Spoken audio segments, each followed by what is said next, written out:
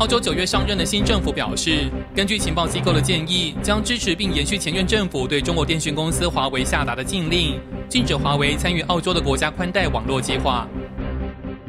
北京发生吉普车撞入天安门人群事件，四川一辆中型巴士昨天也冲撞南充市中级人民法院和交通警察一大队，造成五辆警车受损，两名警察受伤。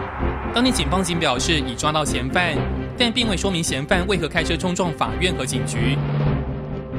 中共中央政治局二十九日召开会议，会议决定，十八届三中全会将于十一月九号到十二号在北京召开，中共中央总书记习近平主持会议。今年七月底爆发遭房东全商集团无预警关店风暴的太平洋百货成都春熙店，二十七日晚间低调结束营业，比原定的十一月三日提早一周。新航亚太电视整理报道。